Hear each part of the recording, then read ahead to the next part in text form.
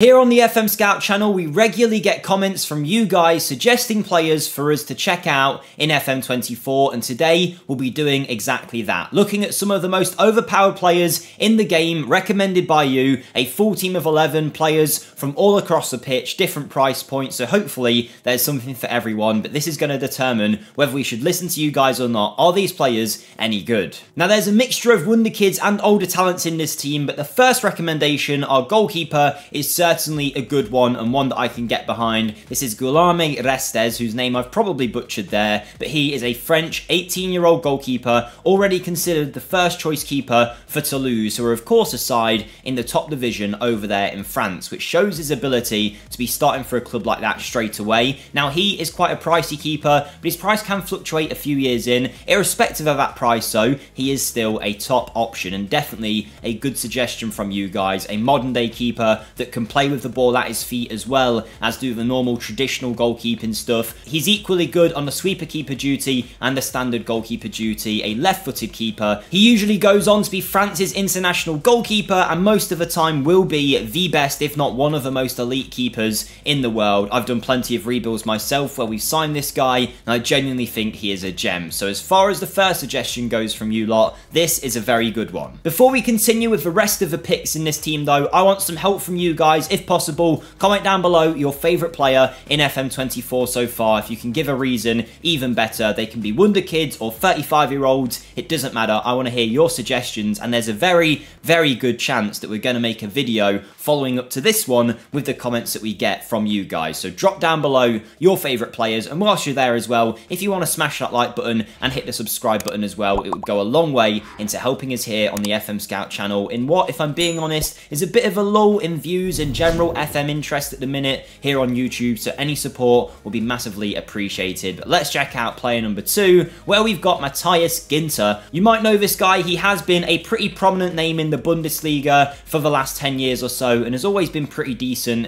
in Football Manager. 29 years of age now, a German international, valued at about £30 million, which is quite excessive for a 29 year old, but he is a very high level player, good at playing out the back with good attributes in all areas. Also, pretty dominant aerially. You can see he's been to Dortmund, Freiburg, Gladbach, and now back to Freiburg again, where he's a very important player for them. In fact, he's considered a star player, but the comment that we got about him suggested that he has great hidden mental attributes. Now, I'm not going to show you them and spoil them for you. I know a lot of people don't want to see that, as you can only see them with the in-game editor, but I can tell you the comment was right. He's got great hidden attributes, everything from consistency, important matches, just a top professional and one of the best centre backs in that regard. So yes, a very good pick here. Would I spend 30 million pounds on him over some other defenders? Maybe not just because of his age, but outside of that, he is a top player. A much younger option though, and one of the best Wonder Kid defenders of this year is Martin Vitík, a great suggestion, and one that we have spoke about quite a bit on the channel already. A 20 year old, 6 foot 4 centre back with 16 strength, 15 jumping reach, good ball playing ability, as well as very good tackling attributes. And you can pick all of that up usually for only a few million pounds. Often he'll retain that kind of price point as long as he's at Sparta Prague. Even if you're a few years into your save, if he's still at the club, he's not going to see much of an increase on his valuation. If anything, you can often get him for a little bit less. He's got great potential as well. His potential range is very high, meaning he can grow into one of the world's best centre-backs for such a cheap fee. He'll be in most of your saves as well, so head on over to the Czech divisions when you get the chance, pick this guy up and you won't regret it. Good in the air, strong, quick, a modern day centre back who's going to have a bright future both in game and probably in real life as well. The youngest player in this list though, suggested by you guys, is Marc Bernal. He's a great option coming from the Barcelona Academy who's going to cost you about £8 million. And for that kind of fee,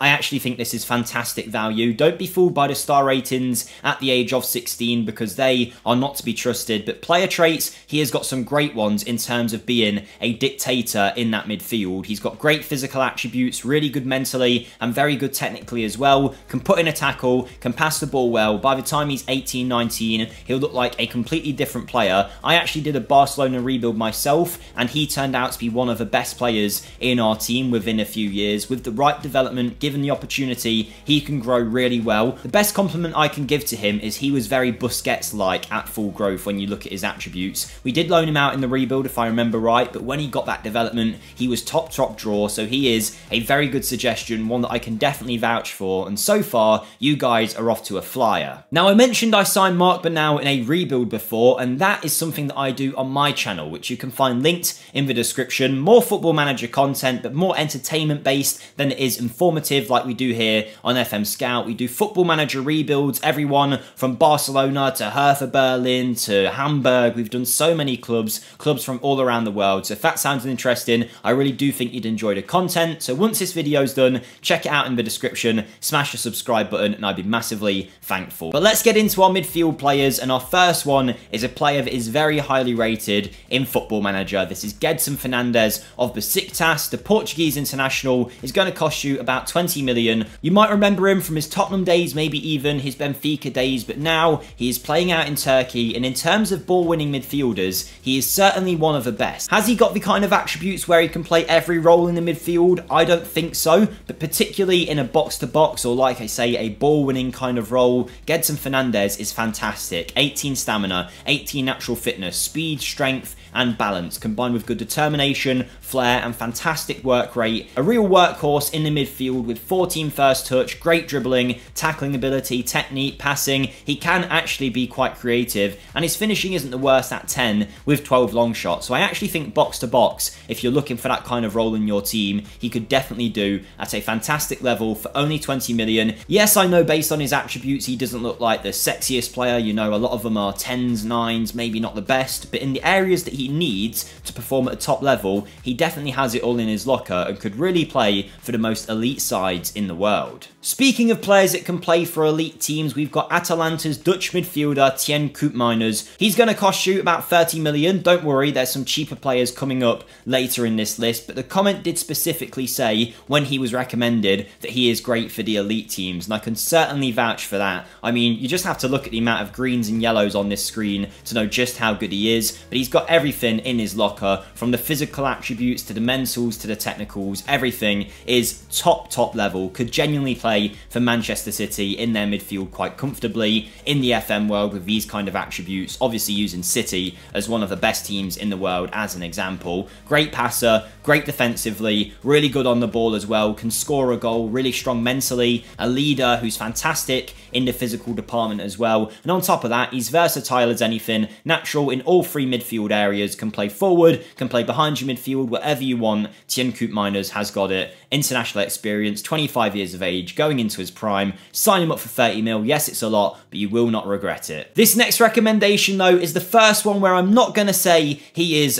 as good as some of the others, in my own opinion. This is Faustino Anjorin, or Tino Anjorin as you might know him, a Chelsea prospect who had great potential a few years ago, went on a few loans, got a few injuries, and now is at Portsmouth on loan. But the best thing about him is usually his contract is up within two seasons, meaning you can actually get him as a free agent and often he will join a championship level side. Now at that kind of level, I will fully admit he will seem overpowered. He's very good and better than that level, particularly when he gets some growth because he does still have a lot of potential in game. He's just got less time to fulfill it now, now that he's over the age of 21. But in that championship level, even low Premier League, he can be a real good, crucial player for your side. Do I think he can play right at the top? Would Chelsea ever use him? I mean, in their current situation, I'm a Chelsea fan, maybe we need anyone. But yeah, realistically, I don't think in the FM world he'll ever be good enough for that kind of club. But if you can pick him up as a free agent or on the cheap or loan him in from Chelsea in Season 2 after his loan is done at Portsmouth, you're definitely going to get a quality player who can help your side out. So do I think he's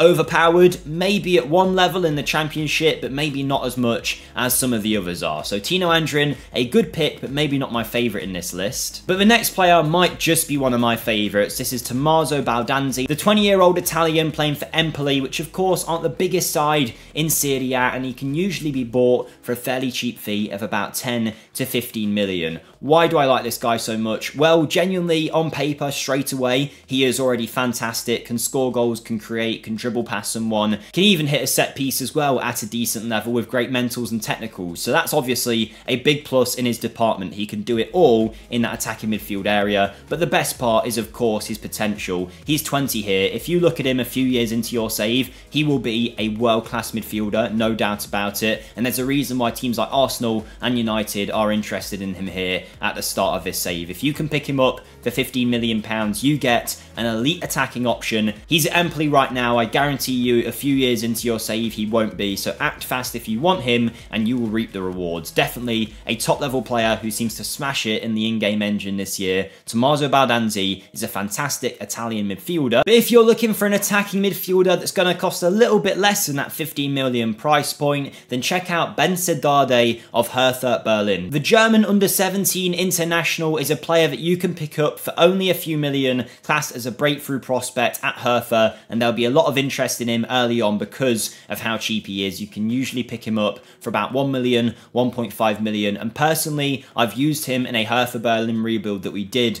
on my channel, and within about a year or so, he was already a Bundesliga level player. Within a few years, he was a high level Bundesliga player, playing for a Hertha team that we had in European competition. So he's definitely worth the money. He's definitely going to become a top player. And even if he doesn't grow that much, he's still a really good option with 14 passing, 14 vision, 14 technique only the age of 17. Great creative attributes. He's also a good dribbler with nice first touch and flair. Physically, maybe not the best, but he is going to grow a lot in the next few years and can really be a big midfield presence. A great suggestion from you guys, particularly if you're looking for a more bargain option, then check out Dárdai, who if you might recognise that name, it's because he's from a whole family. Everyone from his dad Pal, who is the manager of Hertha Berlin. They've also got Palko Dade here as well, who plays for Hertha Hertha Berlin, and guess what? Another brother, Martin Dárdai, who also plays for Hertha Berlin. And by the way, that is another top talent there. He is a great centre back. And we've got two very polarising players to look at here for our last two. Firstly, a recommendation I had no idea about that I'm absolutely blown away by is Ibrahim Osman. And this is why I love your guys' comments, because I never would have seen this guy without you guys letting me know. But he is a Ghanaian 18-year-old striker playing for FC Nordsjælland out in Denmark. He's been to the RTD Academy as well out in Ghana, and actually, by the looks of it, has some appearances already for Nordsjælland. Now, as a striker, in terms of what you're looking for, in this year's match engine for about a million quid. I don't think there's going to be that many better than him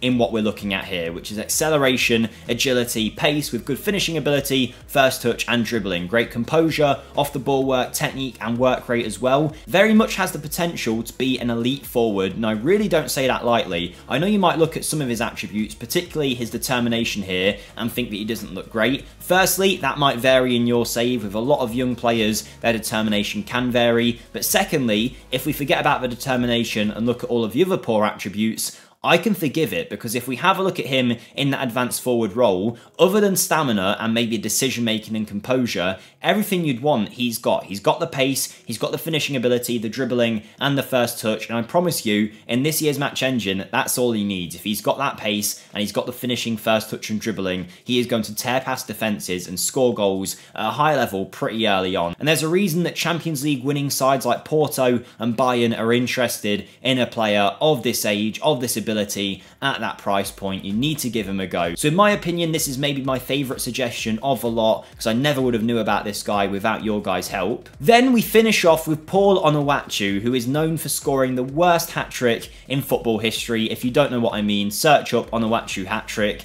Just look at it. I don't know how he converted three goals in that game, but he's a Southampton player, of course relegated, who are now in the Championship, so he's gone out on loan to Turkey. No option to buy, so in most cases, he'll return to Southampton when they get promoted into the Premier League. But the reason that he was suggested, and I can see why, in most areas I don't think he'd be a good striker, but in terms of being a target forward, you know what? I can see it, particularly in the match engine, physical attributes tend to trump everything else, and to have him with 17 strength and 20 jumping reach, that is very, very impressive, with 14 heading and 14 finishing as well, good off the ball work. His movement's going to be good, he's going to outmuscle a defender, he's going to jump higher than everyone else, and realistically, he probably will score a lot of goals, and the comment where he was suggested said exactly that, that he scored 30 goals a season, 28 of them or something were with his head, so clearly he's got his way of scoring. He is a good player. If you use him as a target forward, maybe in a front two, maybe a big man and a small man, this six foot seven striker could definitely be a good shout. Would I launch him up front for Man City or Real Madrid?